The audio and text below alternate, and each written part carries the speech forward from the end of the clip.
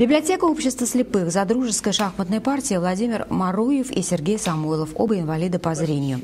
Шахматы для слабовидящих и незрячих людей особенные, хотя на вид вроде бы обычные. Отличие в том, что черные и белые поля доски находятся на разных уровнях. Черная клетка выпуклая, и это чувствуется на ощупь, как и круговая бороздка у белых фигур. Но если на черной шахмате снизу нет никакой нарезки, то на белой шахмате, к примеру, возьмем тот же слон, есть внизу прорезь. Вот по этой самой прорези инвалид по зрению уже определяет, черная шахмата или белая шахмата. А еще в каждой клетке отверстия для крепежа фигуры, да и шахматные часы для незрячих игроков тоже специальные. Стекла нет, а на корпусе имеются рельефные отметки, чтобы человек мог на ощупь определить время. Впрочем, все эти приспособления для этих шахматистов уже ни к чему.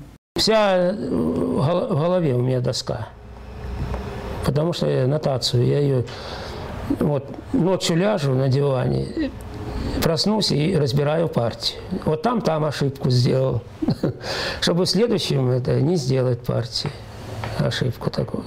Владимир Маруев – семикратный чемпион области по шахматам среди незрячих, поэтому очередная победа очевидна.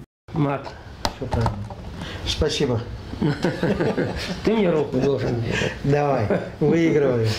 Арина Макарова, Анжелика Барвинок. Наше время.